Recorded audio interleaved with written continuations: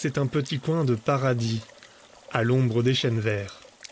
Sous le couvert des arbres vivent sangliers, hérissons, renards, ou encore une quarantaine de tortues d'Hermann, le reptile le plus menacé de France.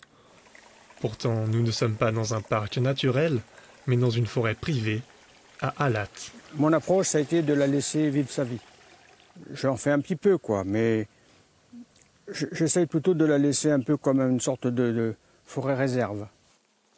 Jean est un enseignant à la retraite, et son jardin, c'est cette forêt. Mais ici, ne cherchez pas de grands arbres centenaires. Cette forêt, elle est jeune. C'est-à-dire que quand euh, les, cultures de céréales ont été abandonnées, progressivement, la forêt euh, mise est entrée en reconquête.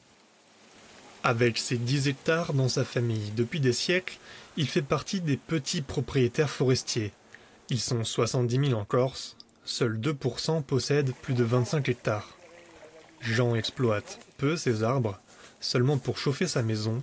Sa forêt, c'est une petite bulle de biodiversité. C'est une démarche éco-citoyenne, je dirais. Ceux qui ont la chance de posséder une forêt, que ce soit des privés ou des collectivités, faut qu'ils en prennent soin et franchement qu'ils s'impliquent dans sa protection et dans sa gestion raisonnée. Plus de la moitié de la Corse est recouverte de forêts, ce qui en fait la région la plus boisée de France. Les trois quarts sont privés, le reste appartient à des communes ou à la collectivité de Corse, des zones gérées par l'Office national des forêts. Pour les formations forestières le long des ruisseaux, on va s'interdire d'y faire trafiquer des, engins forestiers, on va maintenir le couvert, on va travailler au profit des feuillus en éliminant les résineux. Donc c'est une gestion assez complexe, même si elle ne saute pas aux yeux, hein, qu'à la voix. Mais on ne se contente pas de, de, regarder pousser les arbres et de les couper.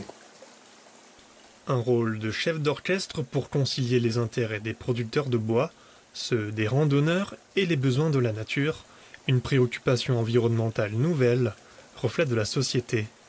Aujourd'hui, autant que les engins de plusieurs tonnes des bûcherons, c'est un petit oiseau de quelques grammes qui dessine la forêt de Pin Larizio du Val d'Agnello, la citelle corse. Donc là, c'est une zone qui va pas être, qui est complètement dédiée à la citelle, qui ne sera jamais coupée ici. C'est ce qu'on appelle un îlocitelle.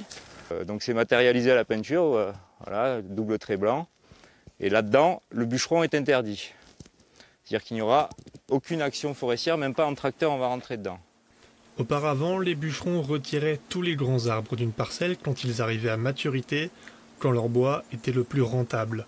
Mais c'est à cet âge, vers 200 ans, qu'ils produisent le plus de graines que mange la citelle. Les oiseaux y installent aussi leur nid quand les troncs morts se décomposent.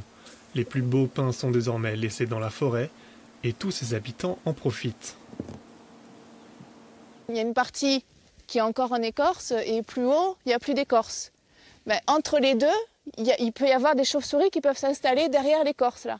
Parce que là, ça devient accessible pour elles. Le forestier l'avait conservé pour la citelle à la base et la, la chauve-souris aussi euh, s'est installée dedans.